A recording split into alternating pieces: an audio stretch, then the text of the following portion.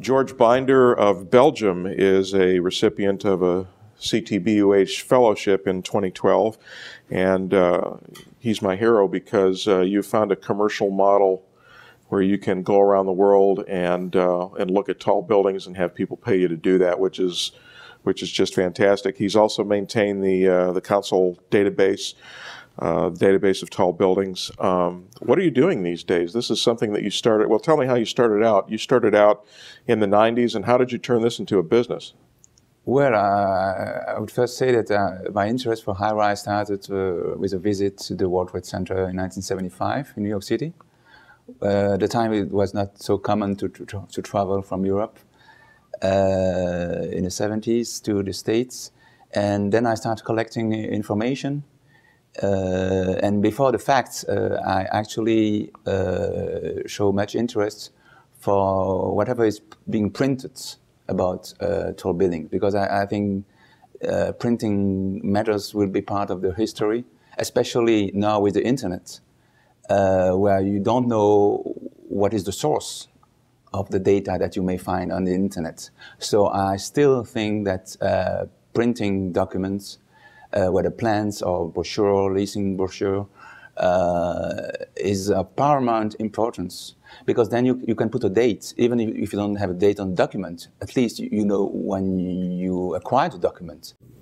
Um, you're also the author of a book, which is a great extension out of all of this, called 101 of the World's Tallest Buildings, which you can uh, read about and buy on the council website. Um, tell me about writing this book and all of the research that went into it, because this is this is a considerable volume here. I think that's what makes those books a, a bit different from whatever qualities of the other books is the time that we put into collecting the data and uh, finding plants.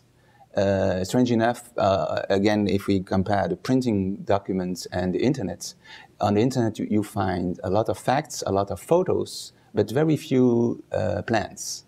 And of course, I, I think that uh, in connection to the data uh, related to a building, uh, it's of paramount importance to see the plan to, to understand the, the project. You cannot judge a, a project by, by the photo only. You need, you need the plan. The internet has, uh, has done so much just for the study of tall buildings and really getting everybody in the world on the same page. Can you comment about that? What's the internet? What difference has the internet made?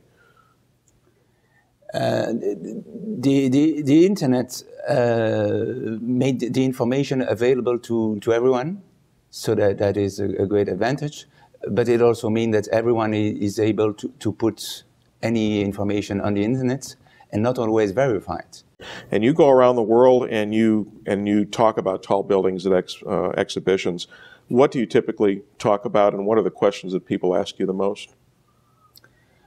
What I try to to show uh, during those uh, speeches is to, to try to select uh, major trends uh, when it comes to the region where the buildings are being built, when it comes to the building types.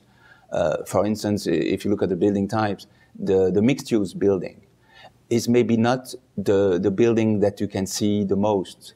Uh, the, the number one now is uh, residential uh, building type. Previously, it was more the office. But what, is of interest when, when you look at, at those figures is the, the fact that mixed use is the building type which has the most rapid and aggressive growth. The, the business economic of a mixed use, I, I believe, is mainly driven by the fact that less and less uh, you have actually uh, the, the needs for office space is reducing over the time. Uh, if you look at IBM, they used to have uh, an IBM tower in Tel Aviv, an IBM tower in Brussels, an IBM tower in, IBM, uh, in New York. Of course, the, the towers are, are, there, but it's no longer an IBM tower in either of those cities. That means that today, if you want to build big real estate, you still need a, a major tenant. And the major tenant are, are no longer the, the one we used to have. Uh, you used to have an ITT tower in New York, an ITT tower in Brussels. There is no more ITT.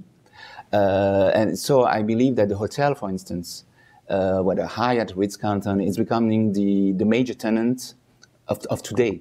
We don't have IBM uh, to fill in a, a, building, so those hotels uh, can use the space of a big portion of the buildings. Also, it is in connection with the fact that more and more people are traveling.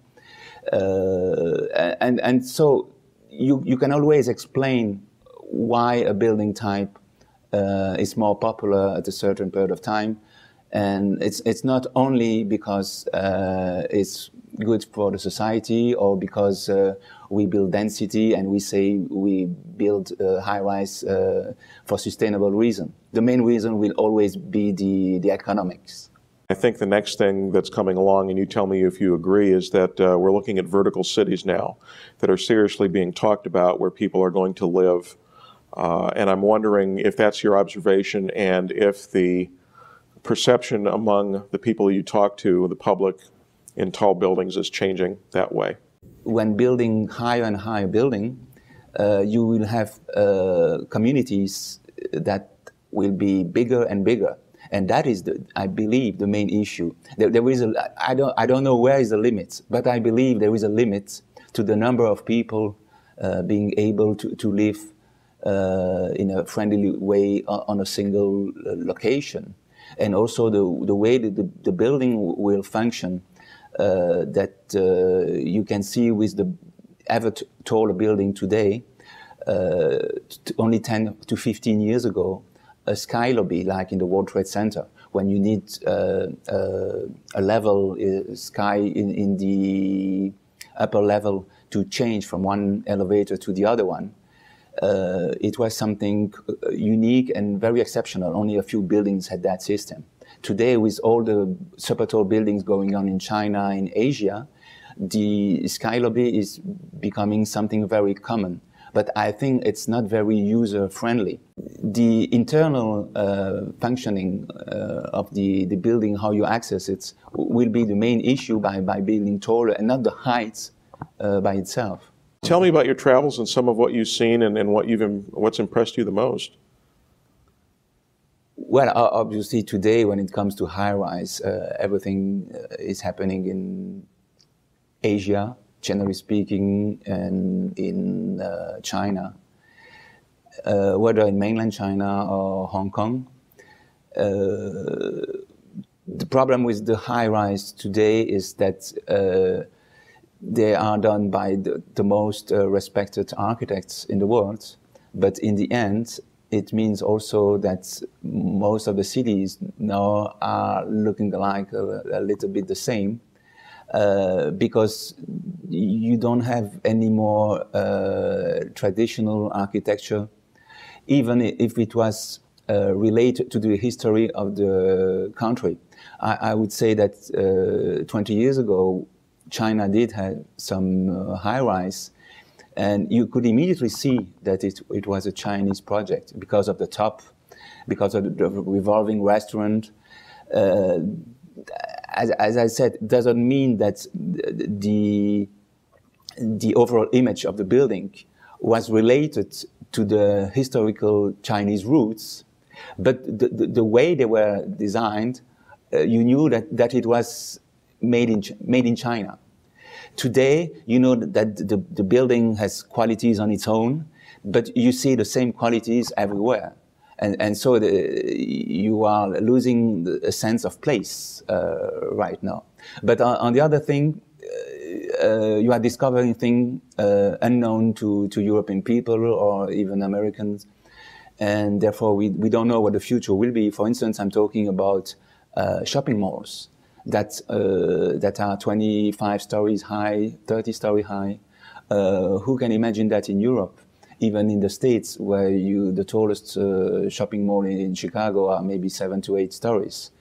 Uh, who knows in Chicago that they have shopping malls of 30 stories in uh, China? And I don't say that I'm advocating this uh, type of uh, doing buildings, but what I find interesting in, in, those findings is that you can imagine any use when it comes to high rise uh, of any height. And that is, I would say, very refreshing knowing that the, the future will bring us high rise of uh, building types that we don't even imagine today. Georges, congratulations on your award and thanks for coming to Chicago to see us. Thank you, Jeff.